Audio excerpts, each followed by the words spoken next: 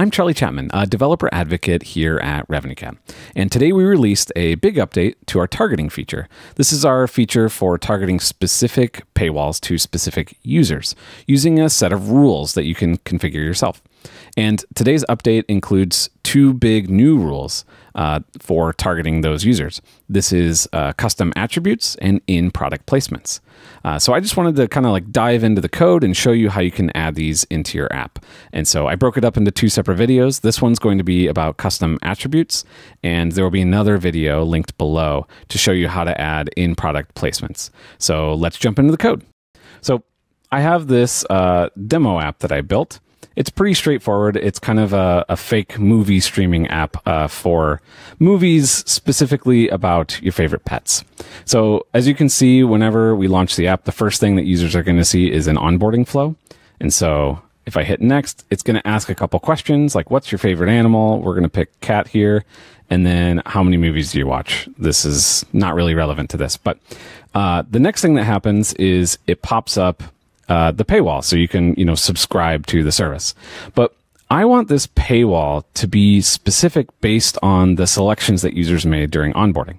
Specifically for this example, um, if a user picked cat, I want it to be like a cat themed paywall. And if they pick dog, I want it to be a dog themed paywall.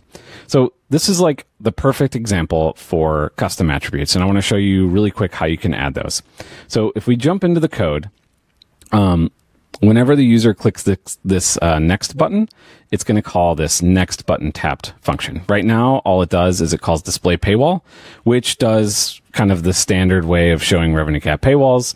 We first fetch uh, the offerings from revenue RevenueCat and grab the current offering. Um, and then we use that offering to actually render the paywall. I'm not going to dive into how that code works, but there, we have other videos to show you that. So, um, right now when you click that next button, it immediately shows the paywall. But we want to, we need to tell RevenueCat what our users' custom attributes are before we show that paywall. So the way we can do that is uh, is actually using an API that has already existed in our SDK um, for setting custom attributes for your users. So if we call purchases dot shared dot attribution and then set attributes, um, here you can pass in a dictionary, and this dictionary um, is a string of strings, and we can make our key. Um, in this case, we'll say favorite animal, and then we'll set the value for this specific user to the selection that they made. And uh, you can see, you know, this is a standard uh, Swift UI picker.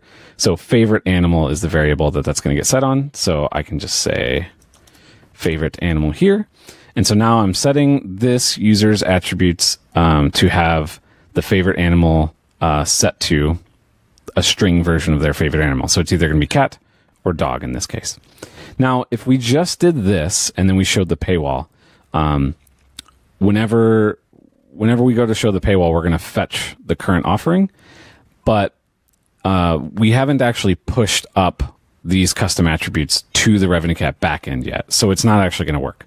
So we created a new API for this uh, new targeting feature for syncing those uh, attributes. And so that's also on shared. And there's now this sync attributes and offerings if needed. And that will give you a completion block whenever it's done. And once you've synced up those attributes, that means it's ready to go. Now you can fetch uh, the current offering, and it'll run through our targeting rules to make sure that you get the correct offering. Um, so this callback gives you the offerings. We're not actually going to use that in this code. Um, and then also an error, and I'm not going to do error handling because I'm a bad developer. Um, and then now we can call display paywall. So basically, I mean, this is really simple. You can see, but when we click next, First, we're going to set that user's attributes to have their favorite animal. And then we're going to sync those attributes up. And then whenever that's done, we're going to call display paywall. If we run this,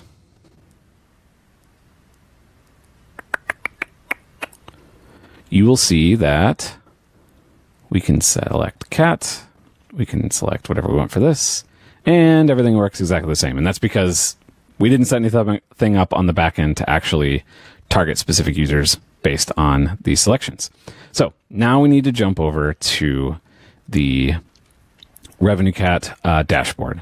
And so if we go to my Paw Plus project here and we go over to targeting, um, this is where you'll set up your special rules. And actually, before we do that, let's talk about the offerings that I've set up. I did a little bit of a you know pre-work for this so it goes a little faster but i'll show you what i've done.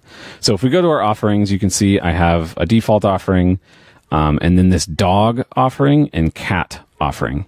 I created and we can ignore these for now this is for a different demo. Um, i created these by literally just duplicating the default offering and then making some changes to their paywalls. So everything else about them is the same. So if we jump into the paywalls and look at this cat offering, you'll see the colors are orange. Um, and then there's a big picture of a bunch of kittens. And, you know, one of our features is we love cats just like you. And then if we go over to the dog offering, you'll see the colors are a little different. It has the dogs as the image. Um, and then, you know, the feature has some dogs. Obviously, you'll probably want these to be more different, but this is just to illustrate they are, in fact, different paywalls. So we want to show uh, users who selected cat as their favorite animal, this cat offering, and users who selected dog, this dog offering. So this is where we'll go into targeting, and then let's create a new rule. So we'll call this one dog fans. This is for fans of dogs. And for the um, condition, we will select custom attribute and you can see we auto populate uh, these. If you've ever set any attributes, you'll see them auto populating here. You can also, you know, type it in uh, manually if if you haven't ever, you know, synced any of these up to the server before. And we're going to say if their favorite animal is uh, dog, then we want to show our dog offering. Cool. And then um, if we go back into targeting, let's add one more rule for cats. We'll call this cat fans. Custom attribute, favorite animal, and if they've selected cat, then we want to show them the cat offering. All right, so very simple set of rules here. Um, if they're dog fans, show them a dog offering. If they're cat fans, show them a cat offering. Pretty straightforward.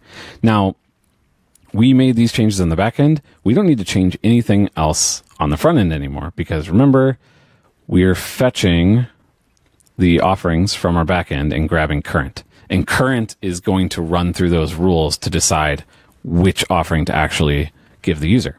So that means if we uh, if we run our code here, and actually I can just you know restart the app. I don't actually need to rebuild anything, and go through onboarding and select cat we now see our cat offering here. And if I dismiss that, switch it to dog, hit next, we now see our dog one. So really unbelievably straightforward to do, um, but it's super duper flexible. I mean, these are just strings. You can create as many custom attributes as you want, and you can create a whole bunch of different rules um, based on those custom attributes. And so there's a whole lot that you can do here.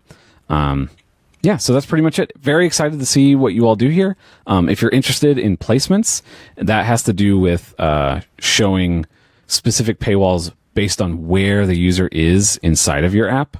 Um, so right there, we are in onboarding, but if I go to settings and hit this one, maybe we want that to be different. That's where placements are going to come in. And I'll have a separate video that shows you how to do that.